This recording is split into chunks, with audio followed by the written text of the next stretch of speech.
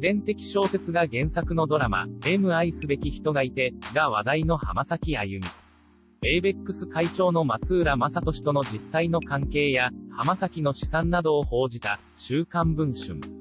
2019年9月12日号の記事を全文公開する。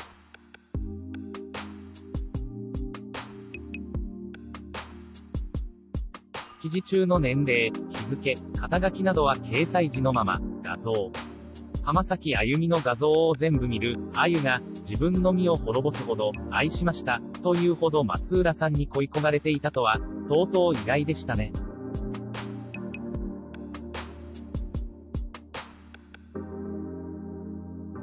だって、あゆは松浦さんのことを、歌手の浜崎あゆみ、40と10年以上付き合いのある知人は、そう語る。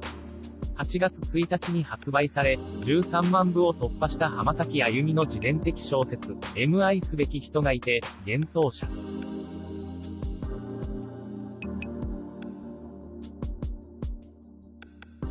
書かれているのはデビュー当時の浜崎と、育ての親である音楽プロデューサーで現在 ABEX 会長の松浦正俊、54、との恋物語。六本木のディスコでの出会いから、松浦氏が浜崎の母親に、付き合っています。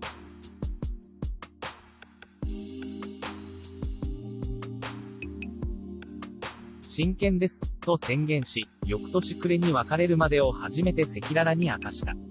浜崎が作詞した曲の数々は、松浦氏へのラブレターだった。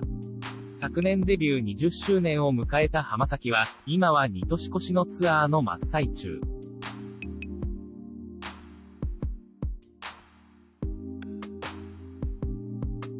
暴露本の出版は、その起爆剤として仕掛けられたのです。ABEX 関係者。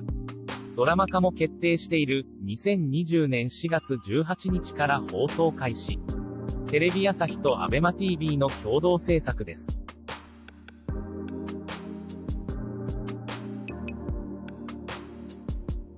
主演は ABEX 所属のアーティスト、安西カレン、20、主題歌は浜崎自身が歌う案が出ています。